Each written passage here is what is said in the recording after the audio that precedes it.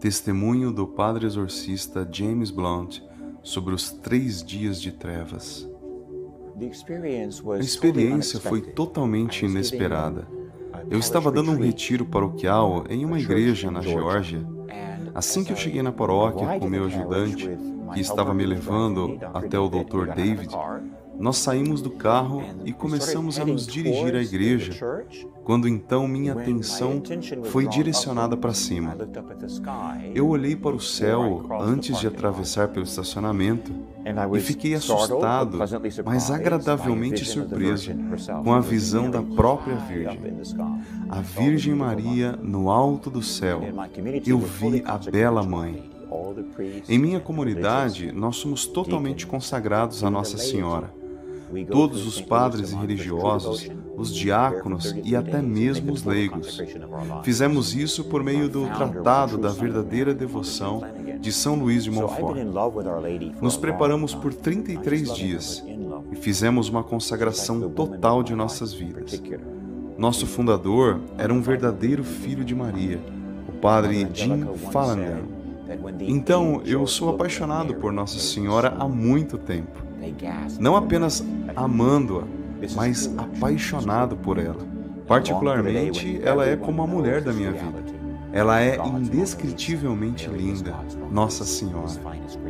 A Madre Angélica uma vez disse que quando os anjos olham para Nossa Senhora, eles desmaiam, eles ficam sem fôlego diante de sua beleza. Eu anseio pelo dia em que todos conhecerão essa realidade da Mona Lisa de Deus. Maria é a Mona Lisa de Deus, a sua melhor criação. Eu tive a alegria de vê-la no ar, bem alto sobre a igreja. Ela devia ser muito grande porque eu estava bem abaixo no chão e ela estava no alto, no ar. Ela era tão grande. Eu basicamente vi o tronco de Maria, da sua cintura até o topo de sua cabeça. Ela era muito bonita. E Nossa Senhora estava segurando algo em suas mãos. Agora, eu vivo na presença de Nossa Senhora todo dia. Então, não é que eu tenha ficado muito assustado porque um católico verdadeiro vive no coração de Maria. Ela é a arca da nova aliança e nós moramos nela como num refúgio seguro. Então, eu não estava tão surpreso. Era como eu ficava quando garoto ao ir à cozinha e via minha mãe lá cozinhando. Eu ficaria surpreso ao ver minha mãe na cozinha?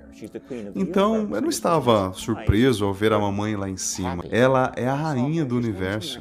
Então, eu não fiquei assim tão surpreso, mas feliz. Eu a vi e ela estava segurando algo em sua mão. Era preto, era escuro. Eu disse: Olha, eu não sei o que é isso que ela está segurando. Parecia ser curvado o que ela segurava, parecia ser um rolo de alguma coisa nas suas mãos. Então, quando eu olhei para a mamãe, ela fez um movimento e o que quer que fosse aquilo começou a desenrolar. Então, eu percebi naquele momento que era um volume de um material, um rolo de tecido, e começou a se desenrolar de sua mão. Ela ainda estava segurando, mas ele se desenrolava. Então, eu o vi descer descer, virar e circular em torno do globo terrestre. Enquanto eu estava lá parado, eu o via circular todo o trajeto em volta da Terra e voltar para onde nós estávamos, na Geórgia, em segundos.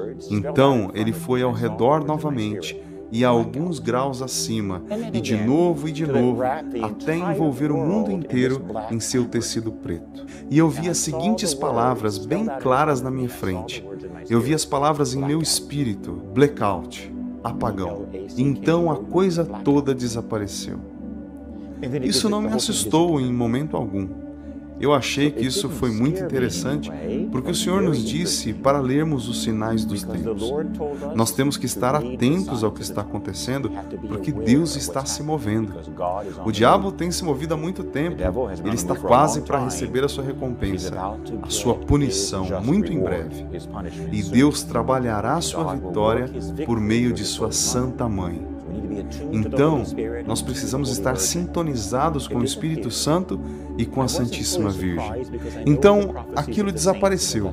Eu não estava totalmente surpreso, porque eu sei das profecias dos santos, beatos e servos de Deus sobre a grande tribulação, de um possível apagão e uma iluminação da consciência. Três dias de escuridão. Eu não sabia a que isso se referia. Meu primeiro pensamento foi sobre os três dias de trevas, porque foi um blackout total do mundo. Mas também tinha sido outra profecia sobre o mundo inteiro. Ele seria reduzido por Nossa Senhora a uma forma de vida muito mais simples no mundo todo. E isso fala quase que diretamente de um colapso de todos os meios eletrônicos, que faria você pensar numa bomba nuclear, que alguns países têm até mesmo apontado para o nosso neste exato momento, o qual não mataria ninguém diretamente, mas destruiria todos os circuitos eletrônicos em toda a Terra. Então, em outras palavras, todos os celulares se desligariam, televisores e computadores. É provavelmente a melhor coisa que poderia acontecer no país país hoje, pois o nosso povo, os nossos adolescentes em particular, estão sendo destruídos pelos eletrônicos. Então, se tudo isso for destruído,